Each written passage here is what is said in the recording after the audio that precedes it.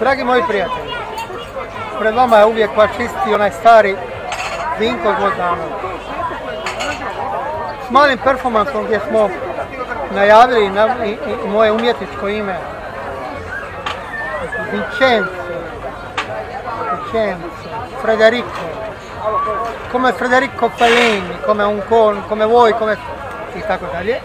Najavljujemo jedan mali performans, ali i najavljujemo jedan mali portal, dio portala, dio priče na portalu bačice.com. Imaju ljudi koji rade svoj posao. Postoji kreativni, dobri ljudi i kvalitetni e, medijski, već školovani đaci. Znači oni koji znaju svoj posao.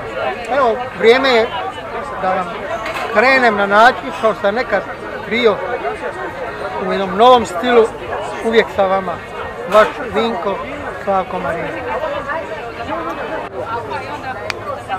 Dobrodošli na moj blog, vblog bačice.com. Sve što trebate znati i čuti, doživjet ćete i vidjeti. Hvala vam lijepo, mir s vama.